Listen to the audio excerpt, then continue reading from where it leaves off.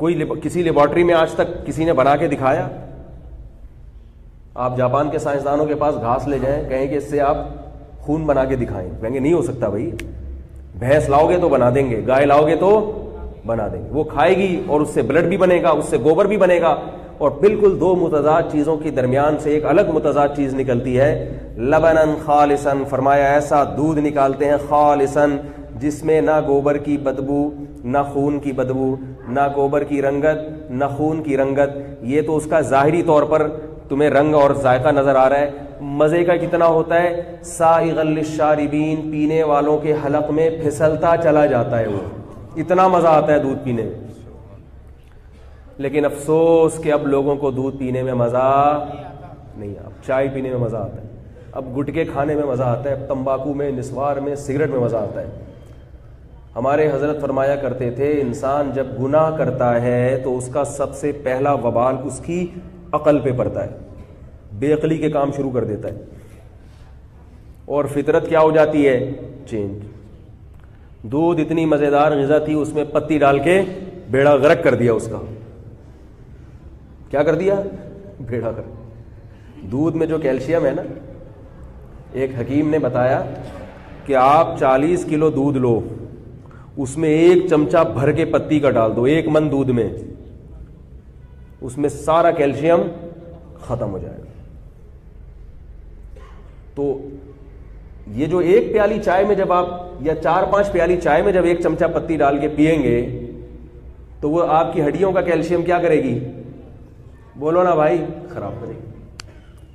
پی رہے ہیں صبح شام۔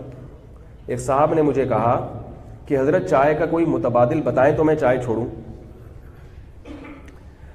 ہر چیز کا آلٹرنیٹ ہوتا ہے نا سودی بینک کا آلٹرنیٹ آ گیا بھائی، اسلامی بینک۔ ٹھیک ہے نا؟ زنا کا آلٹرنیٹ ہے، نکاح۔ تو انہوں نے کہا چائے کا آلٹرنیٹ کیا ہے؟ بعض لوگ بتاتے ہیں، یہ کھا لو، یہ پی لو، یہ کر لو۔ میں نہیں بتاتا۔ چائے کا آلٹرنیٹ کی ضرورت کیوں پیش آئی آپ کو؟ چائے کی ضرورت پڑتی ہے جب آپ دماغ میں تھکاوٹ محسوس کرتے ہیں۔ ایسا ہی ہے نا؟ تو تھکاوٹ کا علاج کیا ہے؟ سو جاؤ۔ رہنے دو بھائی۔ تھکاوٹ کیوں ہو رہی ہے؟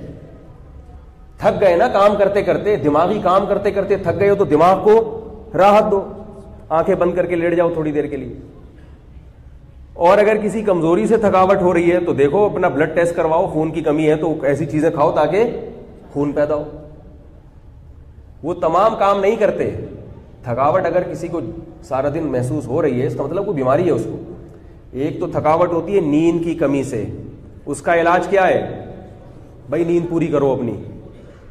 اور ایک تھکاوٹ ہوتی ہے کمزوری سے، تو اس میں کمزوری کا علاج کرنے کی کوشش کرو۔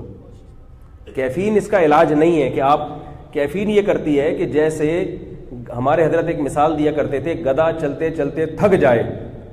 اب وہ کہہ رہا ہے مجھے تھوڑا آرام کرنے دے۔ آپ نے ایک چابک لگائی اور اس کو اچھال دیا۔